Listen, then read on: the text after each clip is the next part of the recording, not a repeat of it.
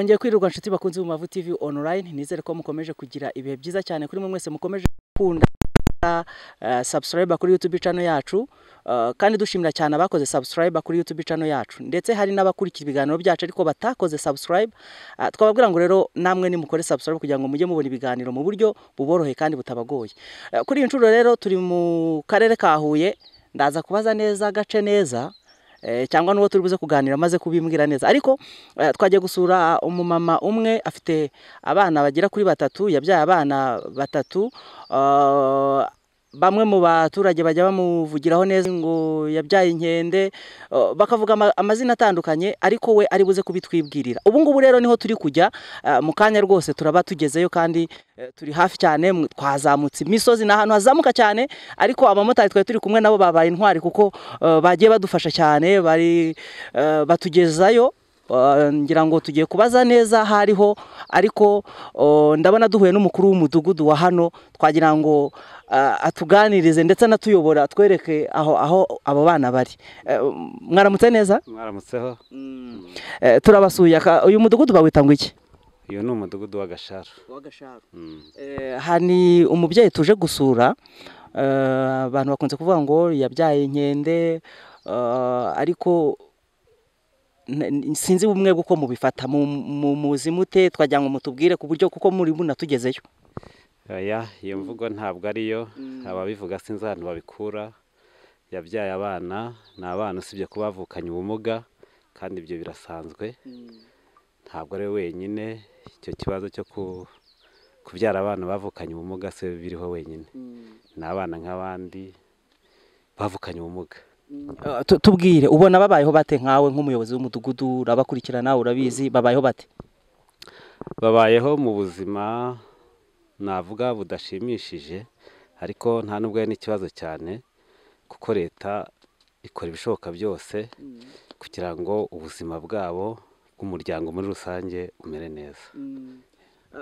Ubona hari abandi bashobora kubafasha bakunganira leta? Ntabwo leta ntabwo yonyine yakwishoboza mu bibazo by'abanyarwanda kuko si bo bonyine baba bagomba kwitaho. Habonetse n'abandi bagira neza babafasha byaba byiza bakunganira leta. Twagira ngo rero utuyoboreyo. Utuyoboreyo utugezeyo tumuganirize nk'ikinyamakuru mubavu doti komu tugira na yutube cano yitwa umubavu tivi onurayini ikorera kuri yutube twagira ngo tugezeyo noneho tunamuganirize twumve n'ubuzima abayemo twumve ko n'ibyo utubwiye rega ari byo. Hari igihe waba utubwiye gutyo ariko nta kintu mumusayidira. Twagenda nta kibazo.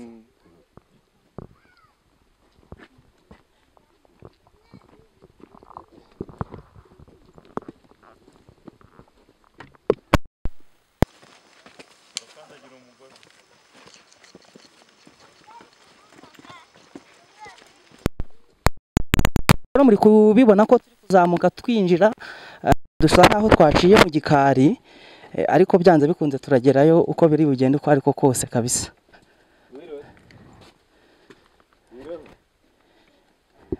Mwaramutse?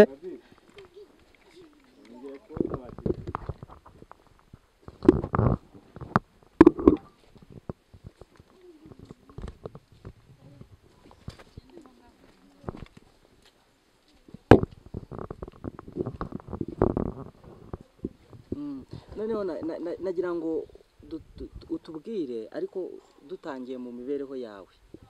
Ubusanzwe wabayeho ute? Utangire utubwira n'amazina yawe. Nitwa Musabyimana Korodina ngewe navutse neza nk'abandi bandi bakobwa.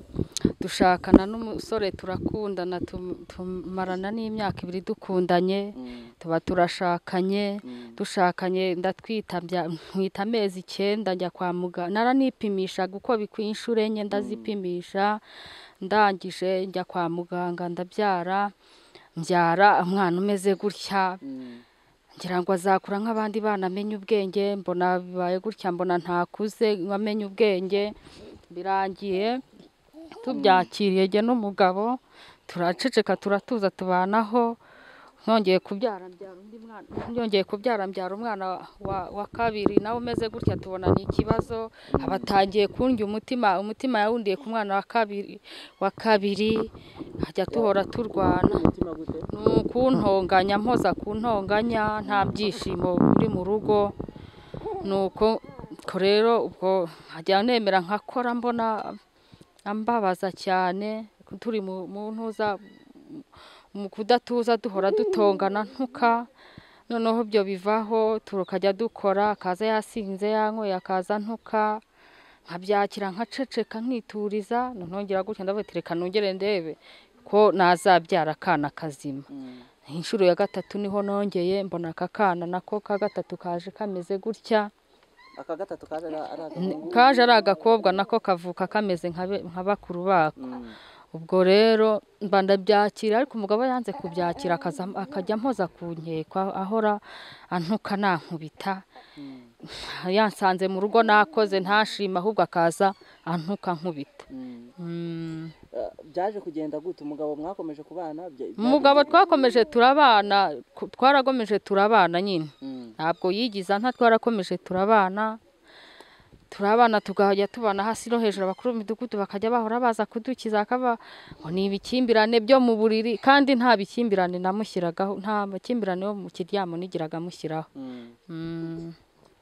Abana bamajije kuvuka ku- kubarera. Ya- yabahaga ibi- ibikenerwa nk'abana se umva mana muri yaraduhahiraga yacaga ishuri akaduhahira ikintu icyo ari cyo cyose akaduhahira. Yaba yagiye gukora mu muhanda muri vup akaza agahaha umuceri ugaragara akaduhahira ibishyimbo tukarya. Yaba yagiye ku kabari nimba barahuraga n'abandi bagabo bakamubwira ibitiku akaza ankubita ntonganya. Yaba atagiyeyo tukaba turi bazima tu- tumerewe neza tuganira duseka. Yaba yagiye nyine akaza noneho ari mu ari mu nduru duhora turwana Mm. Mm. Eh, noneho tubwire aba bana kubarera birakoroheye abana kubarera biramvuna birangoye imirire ibyo kurya ibyo kurya ni byo bingoye n'utwambaro two ku- two kubambika ni byo bingoye Mm. Mm. Ha- hari ubufasha se bundi wakira ubufasha barabumpa bampa bampa ayo mafaranga nkabahahira nka- nkanabambika Mm. Mm. birahagije? Nta- ntabwo bihagije cyane. Mm. Ubundi se ni bande babiguha? Ni leta imfasha. Iramfasha. Yaguha gute?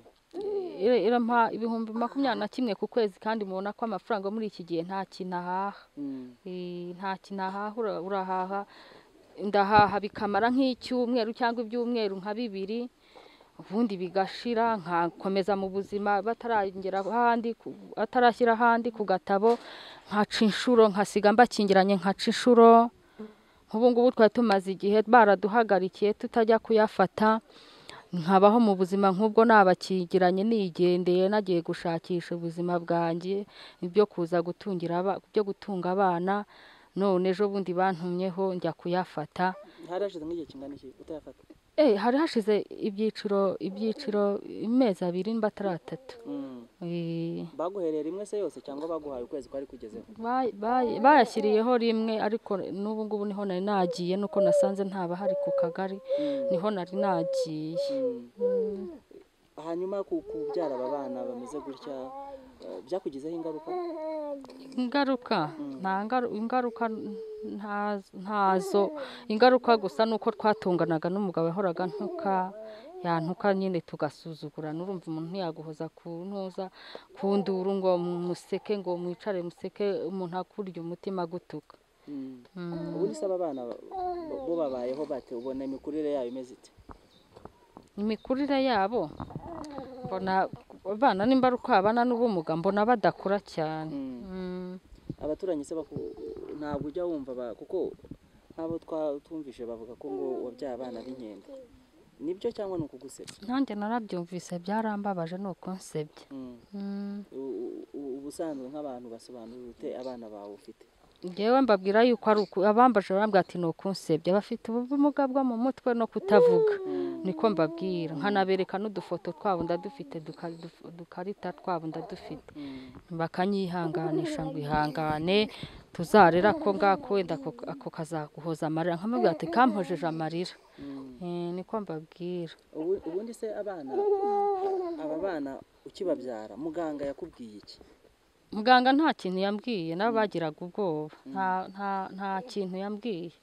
Nta muntu wigeze agusobanura akakubwira impamvu ushobora kubyara abana bameze gutya. nta kintu bigeze bansobanurira Mm. Mm, ubu uba wumva intego cyangwa intumbero yabo ari iyihe? Y'abana. Mm. intumbero yabo ni uko nabyakiriye ni uko nabonye byara ndabyakira ubu narabyakiriye. Narabyakiriye. Nta ni- nta nubwo wigeze utekereza kubajyana mu ishuri? Na- nigeze ngira icyo gitekerezo cyo kuba nabajyana mu kigo cy'abana nk'aba bose bajya kwiga mu wa mbere mbona batabishobora Mm. Mm, nta mwarimu wabishobora ku, ku buryo bwo kugira ngo bajye bavugana n'abandi bana? Cyangwa n'abandi bantu bafite ubumuga? Ni ukuba babajyana bakabashyira hamwe bakajya bati akabona ubwisanzure. Kuri gihe nta bwisanzure bambonaho mba nigendeye guca inshuro nkasiga mbakingiranye ntibabashe kwisanzura mu bandi bana. Ni icyo ngicyo ni cyo kibazo mfite. Ikibazo ikibazo mfite ni icyo kuba bati- batisanzura n'abandi bana. Mba nagiye kubacira inshuro nta biryo bihari.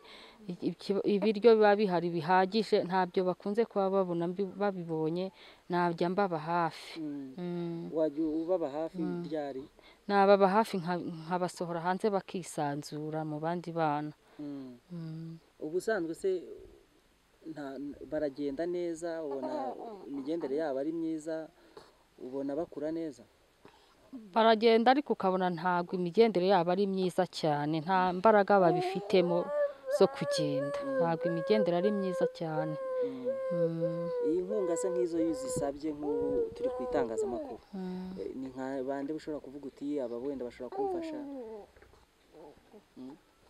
inkunga yo leta irayimpa pe irampa nkabahahira nkanabambika ariko nkabona ntibihagije Mm. Mm. hanyuma iyo bidahagije utekereza iki? Iyo ntekereje iyo aba- abaturage sintekereza kwiba cyangwa ngo njye mu bindi byo kujya kwiyandarika ibyo bintu simbijyamo nda nca inshuro mu baturage. Uca inshuro mu baturage. Mm.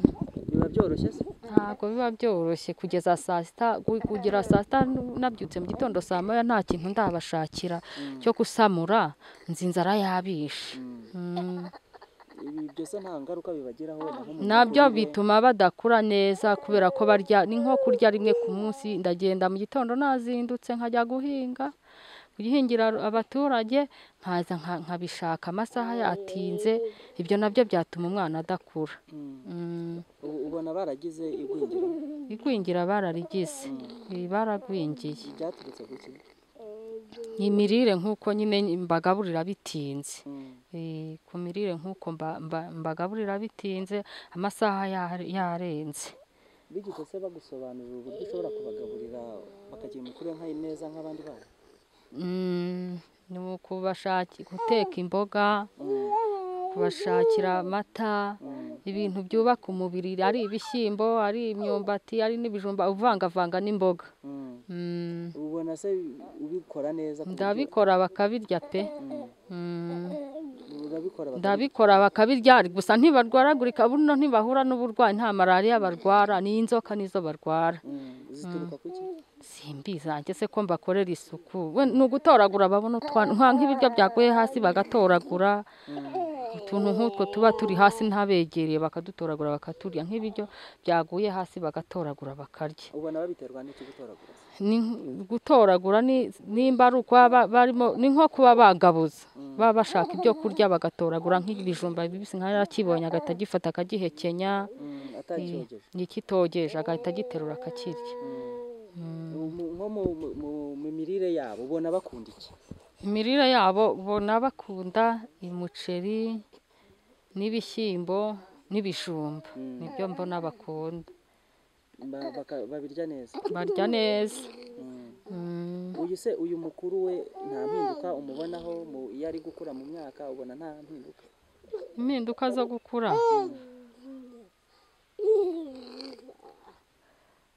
Mbona agenda acu- mbona hagenda hari akantu kungukaho uko uko umwaka ugenda uza mbona atari ko aba akimeze nk'uko yari ameze mbere. Eh, hari akagenda kazamo nuko mba ntamwegereye. Bose ubwabo ubwabo. Ubona babasha kuvugana. Kuvugana ntibashobora na kuvugana. Bibereye mu byabo nyine by'uburagi ntabwo babasha kuvugana. Ubona imi- imibanire yabo. Tubwire nk'imibanire yabo bo ubwabo babanye bate? Ubona babanye bate imibanire yabo ba- ubona nta kibazo bafitanye. Ntibarwana ngo bacane ibisebe nta kibazo bafitanye. Baricarana ukabona nta kibazo cyo ku- cyo kuba barwana. Mbona nta kibazo gihari. Mu- muri bo uwo ubona afite ubwenge urimo utekereza ni aka gakobwa hamwe na kariya. Nibo mbona ba- batekereza batekereza batekereza. Mm. Mm. Mm. weho muvugana mute? Njye ntabwo mbasha kuvugana nabo. Dore ku- kuvugana nabo ni uko aba ndeba. Mm. ntabwo mvugana nabo. Ushobora kumutuma nk'ikintu utigenda nzanire nk'ikintu wenda mu- marenga ukabona arabyumvishije. Mhm, nta kintu anzanira pe. Mvugishije ukuri nta kintu anzanira Mm. Eh, gusa uyu nguyu agiye gukora uyu mwana w'umukobwa iyo agiye gukora ibintu agiye nko n'uriya mu kanya yarimo akandagiye hariya mu biziba ndamubwira ati vamo agenda yirukanka. Nuko nguko nta kindi kintu ankorera. Mm. isa nk'umubwira ati genda tureka byumva mva imbere tiyori genda shaka inkoni gukubite genda igirayo genda genda genda. Genda ihute. Mva imbere ihute genda. Buriya ngo yancitse yagiye yancitse yagiye ni kuri iyo amubwiye ikintu nyine ahita ntaye nk'agakona ahita agenda yirukanka cyane ariko ubwo ni ukuvuga ngo kandi akabyumva ko ari we Iyi bur- ubwiye iyi yarampunze uriya ni we ukunda kunyumva iyo mukabukiye ari mu mafuta kuza sinzi ko yaza ariko rero hari igihe iyo naruye ibiryo mpamagara izina akaza ndamuhamagara agahita aza Mhm. Mm. Bi- bivuze ko ashobora kuba afite ubumuga bwo kutavuga ariko yumva bafite ubumuga bwo kutavuga ariko barumva Eh, kuko iyo mfashe nk'akantu mukanga cyane nkabukira nyine cyane nko kuvuga cyane ahita ava mu nzira agenda yirukanka kuri agiye ampunga buriya niko agenda Mm. Ariko n'uyu nawe hari igihe iyo mvuze cyane Mm. nawe niko amera nawe barampunga akigirayo ahita yigirayo Mm. ndabakabukira cyane cyane ndabakabukira. Nkabona avuye mu- baragiye yirukanka. Ubu ubona se bashobora gukina n'abandi bana cyangwa Eh, bakina bo abandi bana babajyamo bagakina bakishima agakoma mu mashyi uyu muhungu. Arabishimira pe arishima. Jya mu bandi bana ukabona arishima. Mm. Umukuru uh, watubwiye ngo afite imyaka ingahe? Imyaka icumi. Uriya uh, uko bakurikirana no tubwira imyaka bafite. Uyu mukuru afite imyaka icumi umutoya afite umukurikiye afite imyaka itanu uwa gatatu afite imyaka itatu. Mm. Mm. ni ukuvuga ngo uwundi mwana se wundi ufite ku ruhande wamukuye hehe undi mwana na- n'undi mupapa n'undi mupapa twikundaniye arakampa kubera ko yabona- yabonaga ko mbabaye Mm. avuga ati reka a- a- amabone ko yampoza amarira nkajya asenga imana nkajya arasenga nijoro nkasenga n'amanywa ngize gutya mbona imana irampinduriye impaye kariya kana kazima Mm. Mm. uko umaze ukabona wa- wabyakiriye Mm, narishimye cyane Mm. Mm. nta bantu se bakubwiye bati kuki wagiye hanze na- barishimye nabo bajyaga babinganiriza naranabitinyaga Mm. barabinganirizaga ngo nzajye hirya nka- nkabitinya Mm. nkatinya ko nakuramo sida ariko naje ku- kubyumva naje ku- kubitinyuka ndabikora mbona imana impayemo akana kazima. Mm. imana impayemo akana kazima abaturage baraza baransura bati dore ntabwo ari wowe kibazo tuzi ko umugabo wawe burya ari we wari ufite ikibazo? Mm. Mm, uko byari bimeze. Hanyuma uwo mugabo mwabyaranye ako kana aragufasha nta kintu afasha ni umukene nawe ni umukene. Ariko ubona nta kibazo amwemera. Aremera umwana wiwe ariko nta ni umukene nta kintu iyo hari afasha icyo abonye se ntacyo agusayidira nta kintu afashaho ni umukene ni umukene nawe Mm.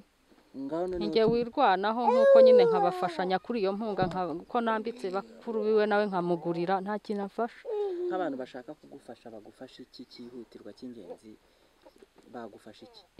Icyihutirwa cy'ingenzi? Ni mu mirire bampaye ibyo nazajya mbagaburira nabwo baba bankoreye Mm. Mm. ubu ushobora nko gucuruza utuntu ku muhanda uh, mu isoko ahantu runaka abantu bakagushingira akantu bakavuga ati gicuruza ariko ukureho utwo two gutunga abana. Eh, nabikora nabikora. Ariko ikibazo mba numva mfite ni icyo kubasiga mbakingiranye ayo masaha kubasiga mbakingiranye nagiye batabashije kubona icyo barya niko kwa kundi badakura. Eh, nagiye nyine nkaza amasaha. na byo bibatera kwigunga kuba bari mu nzu bonyine nta muntu babona hafi bakinisha ngo bishime na byo bituma basubira hasi badahora batunguka ubwenge. Mm. ubwo ubu icyifuzo kikaba nyine ari ikihe icyifuzo cyanjye ndifuza ko nababonera ibyo kurya nkifuza yuko bajya mu kigo cy'abandi bana bakisanzurana nkareba ko hari icyahindukaho ni ukureba ko hari icyahinduka cyahinduka kuko ngiye simbona uko mbegera ngo mbisanzure mbisanzure. Ni rimwe na rimwe bambona nk'ubu nari nagiye nari kugaruka bakambona gutya ijoro riraguye bugacya nkongera nkagenda. Ikintu cyatuma abasha kubaho. Biba bigoye. Ugasanga rero nk'ubuyobozi bw'umudugudu tumushakira ahantu yakora akaraka hafi n'urugo iyo tugize amahirwe arakabona atakabona nyine bikaba ibyo usibye ko leta nyine itwungana nk'uko na yo yabibibwiriye ikamuha inkunga y'ingoboka y'abantu babana n'ubumuga. Ni uko abayeho nkaba rero nanabashimira mu by'ukuri by'umwihariko nk'umuyobozi w'umudugudu muba mubashije kuza kumusura. Kugira ngo mukore ubwo buvugizi hagire abandi bakunganira leta kuba yamufasha. Mm, murakoze. Muri sosiyete ubona ababyeyi bandi bamufata gute? Sosiyete ni cyo tubereyeho. Nk'ubuyobozi bw'umudugudu ni cyo tubereyeho. Nta muntu ugomba kuba yavuga amagambo mabi ibyo twarabiciye twarabiciye si jye jyenyine. Hari abajyanama b'ubuzima baba bahari.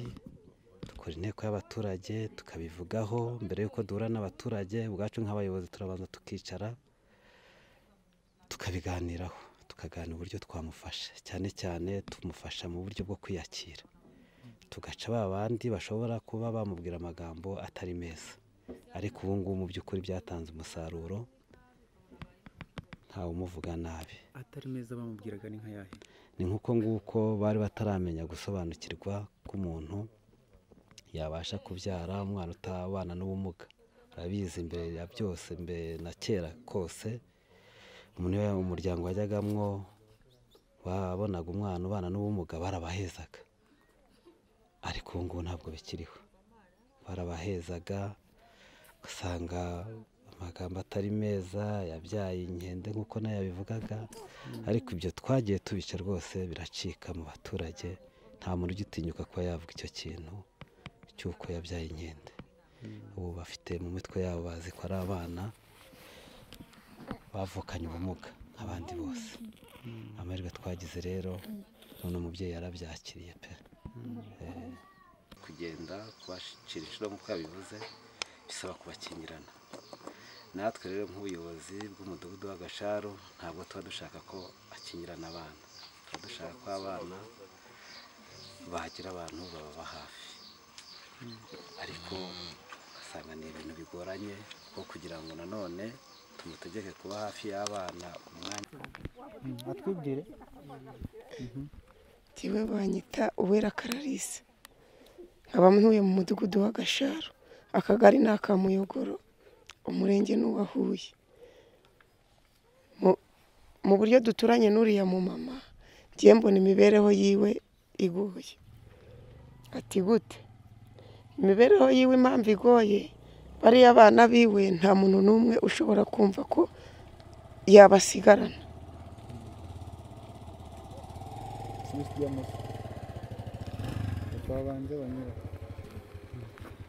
impamvu zo kutabasigarana rero afite ukuntu se navuga ngo afite ibibazo byinshi buriya none se urabona uko ari batatu. Iyo agiye nko kubagaburira. Umwe amushyira hano undi aha n'undi aha. Ubwo we abanza kubagaburira akaza kurya nyuma. Mu bundi buzima busanzwe rero iyo agiye mbega ubona ko bagenda nk'aho nk'iki kinogo ntabwo bakibona ngo ba- bagikate. Ashobora kubareka basohoka mu rugo yagera mu kinogo akakigwamo ugasanga aguyemo cyangwa aranavunitse arangiritse. Bisaba yuko niba agiye guca iyo nshuro y'abo bana abasiga mu nzu. Iyo abasize mu nzu rero arongera niba ugaruka akongera akabafungurira nyine akabaha ibyo kurya ya- byaba bihari byaba bitanahari akabiteka akabona kubibaha. Buriya bumuga ba- bariya abana bafite mwebwe mubona busanzwe buteye bute? Ubusobanuro buriya bumuga bwa bariya bana agiye uko mbibona ni mu mitwe yabo. Mbese kutamuganiriza ngo akubwire urabona nk'uyu nk'uyu wanjye ni muzima. Iyo ashaka kunyara arambwira ati ndashaka kunyara. Nashaka yashaka kujya kuri tuwarete ati ndashaka kujya kuri tuwarete ariko bariya be nta na kimwe bashoboye kuvuga. Usanga nyine iyo adahari kurumva namwe ikibaho iyo adahari. Bawikuriraho bawirira uwo mwanda wabo. Ubwo nyine ni uko. Mubona akeneye nk'ubuhe bufasha ubufasha? Yaba akeneye. Ese ubwo navuga ngo kereka ari nk'umuntu ufite ubushobozi akajya amenya abo bana be akabahora hafi. Ntajye kure yabo. Hanyuma kugira ngo bariya abana bazagire ubuzima bwiza n'iki bafashwa? Wenda agiye uko nabibona kereka yongerewe ubushobozi bakabwongera ubwiwe ku bwo yari afite. Akababa hafi wenda nk'amezi abiri cyangwa atatu. Mukareba ko hari icyaba cyiyongeraho nyuma yaho bakabashakira wenda uko babajyana mu bindi bigo nka ziriya za gatagara n'ahandi n'ahandi nyine haba abana bafite ubumuga. Njye nitwa hitimana tonesite umugabo w'uriya mugore wari umuzi ute nari muzi nk'umuturanyi usanzwe tu nta kibazo nari muziho bivuga ko ngo yiyahuye anyweye umuti ni byo? Eh, iyo defo yo kwiyahura anyweye umuti yamubayeho ariko ntabwo twe nk'abaturanyi be ntabwo tuzi inkomoko yabyo. Ubona se byaba byaratewe na bariya abana babyaraga? Byigeze kuvugwa ko harimo kutabishimira ariko ntabwo nta urupfu rwe rw'umuntu arumenya ku giti cye ntawabikurikiranye ubusanzwe se mubona uriya mama wabasigaranye abaye hafi nyine nk'uko mugenzi wanjye amaze kubibabwira ntabwo abayeho neza bitewe n'ukuntu bamurushya ni abana adashobora gusigira umuturanyi wiwe ngo ajye kubacira inshuro yagiye nk'uko yabibabwiye abasiga mu nzu abakingiranye akongera ku- kubasohora ari uko aje. Eh, muri make ntabwo ubuzima bwe ari bwiza bitewe na bariya bana atabona ubushobozi bwo kuba yabasigira bagenzi be. Mm, ariko namwe avuga ko bishoboka ko mushobora kuba mutabemera twebwe tutemera abana. Mm, kuba mwaba musigaranye wenda ngo ajye no guca n'iyo nshuro. Usibye natwe nawe ubwawe ntabwo wakwemera gusigarana umwana utari busigire mugenzi we nawe ngo ujye gushaka imibereho. Urumva muri iki gihe umu- umuntu nimugirwa nake ugomba ku- kujya guca inshuro n'undi akajya kwica umwana rero umusigira undi bari bukine.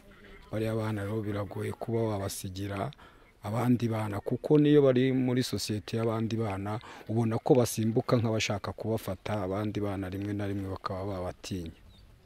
Mubona bafite ubumuga bumeze gute? Iyo mubabonye mubona bameze gute? Nk'uko ubibona nawe ni abana bavukanye ubumuga bwo kutagira ubwenge. Nta kintu na kimwe bazi. Ntibazi kuvuga ntibazi kuba bavukanye ubumuga bwo mu mutwe urebye. Iyo mubarebye se amasura yabo mubona bimeze gute? Bariya bana njye ku ruhande rwanjye mbona bafite kamere cyangwa se imico nk'iy'abantu. Ariko kubera ko mu mutwe wabo yenda haba hatuzuye eh, n'ako kantu ko mu mutwe ubundi ubona ko ari abantu no mu miterere yabo. Sobanurira umuntu uta- utageze hano. Umubwire uti abana uko bameze ni gutya. Kuva ku mutwe kugera ku birenge. Njye mbona ko ari abana bafite ubumuga bwo mu mutwe. Nicyo gihe mbabonaho. Ubundi muri rusange mbona ko ari abana nk'abandi. Nk'uko rero twakomeje kubibabwira twari turi kuganira na Musabyimana Claudine afite abana batatu bafite ubumuga bwo kutavuga ariko barumva ndetse bigaragara ko harimo n'abafite ubumuga bw'ingingo kuko ntabwo babasha kugenda neza. Abenshi rero bakunda kubifata uko bitari kuko ni abana ubona ko baramutse bitaweho bashobora ku, kugira ubuzima nk'ubw'abandi bafite ubumuga babamo. Akaba rero avuga ati mbonye inkunga yindi yiyongera ku yo leta impa. Eh, yamfasha cyane ati kuko ntabwo ihagije kandi koko eh, nk'uko n'umuyobozi w'umudugudu twabiganiriye yatubwiye yuko bamufasha ariko habonetse n'abandi biyongeraho byaba ari akarusho kuko byatuma imibereho yabo iba myiza kandi ikanahinduka. Eh, ni abana rero umukuru afite imyaka icumi umutoya afite imyaka itanu eh, uwundi ukurikiyeho nanone akagira imyaka itatu. Afite n'undi mwana umwe oh, ni umubyeyi ufite abana ubwo ni bane. Mu bigaragara rero ubona ko ari abana bo ubwabo bashobora kumvikana bakavugana bakabasha kumvikana ariko biramugoye ubuzima buramugoye. Ne- ubaye rero ufite umutima wo gufasha wamufasha waca ku muyobozi w'umudugudu nk'uko yakomeje kugenda bigarukaho ni umuturanyi we. Hanyuma ubwo bufasha bukamugeraho kandi eh, bigatuma ah, ubuzima bukomeza kugenda neza. Nicyo rero imana ituremera ni ukukura abandi mu makuba cyane cyane ku ba Eh, bajya babivuga ngo umuvandimwe mwiza avukira gukura abandi mu makuba. Nicyo rero tubereyeho eh, kandi eh, niba afite umutima wo kuba yarakiriye aba bana benshi bakunze kubahisha ugasanga nk'umuntu ntashaka no kubivuga cyane cyane nk'ababyeyi baba barabyaye abana babana n'ubumuga eh, hari haho usanga rwose adashaka ko eh, n'abaturanyi bamenya ko uwo mwana yavutse. Ariko we eh, uyu mutima afite wo kumva abana abakunze abemera nk'abe kandi akemera uko babayeho eh, ubona ko ari ikintu umuntu yamushimira kandi yabayeho intwari. Eh, ngira ngo eh, mu byo yagarutseho yagarutse ku mutware we wiyahuye ah, anyweye ngo umuti w'inka ba- basiga inka zifite uburondwe akiyahura akanavuga ko intandaro ishobora kuba ari uko ari aba bana bari bamaze kubyara bagera kuri batatu akanga kubyakira. Urumva rero niba yarafashe icyemezo akavuga ati ngewe nta kibazo ariko umutware we akarinda agera ku rwego rwo kwiyahura kandi eh, yara- yari ari mu buzima bubi yamu- yaramutotezaga n'ibindi byinshi bitandukanye. Ariko we afata icyemezo aravuga ati reka aba bana mbafate barere n'ubundi ni- Imana yabampaye izabamfasha ntawe rero umenyaho oh,